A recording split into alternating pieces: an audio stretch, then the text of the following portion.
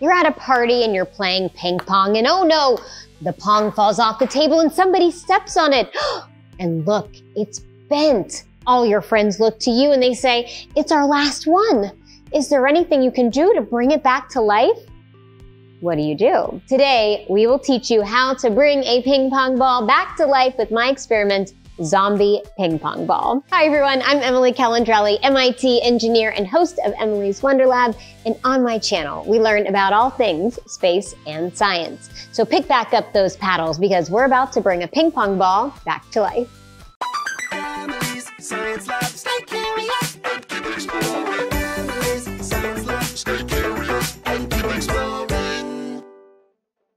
For this one, all you need is your dented ping pong ball and a boiling pot of water.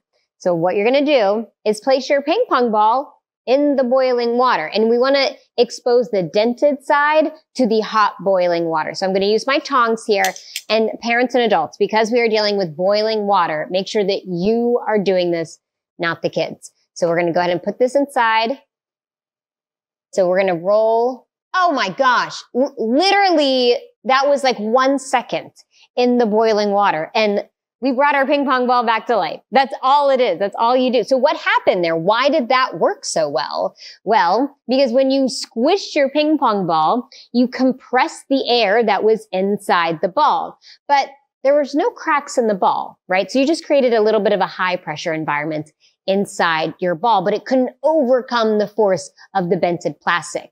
What we did here was we added heat to the inside. We heated up that compressed air. And when air gets hot, it wants to take up more space. We created an even higher pressure environment inside of our ball, and that forced the bumps in the bins and the plastic to go back in place.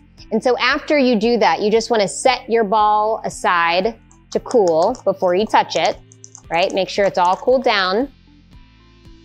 And then once it's cool, we can test it back out and that is how you bring a ping pong ball back to life. Thanks for making a zombie ping pong ball with me. If you like this one, be sure to check out my best-selling Stay Curious and Keep Exploring book series for 99 more science experiments. I'm Emily Calandrelli. Subscribe for all things science and space. And remember, stay curious and keep exploring. I'll see you next time. Emily's Science Lab.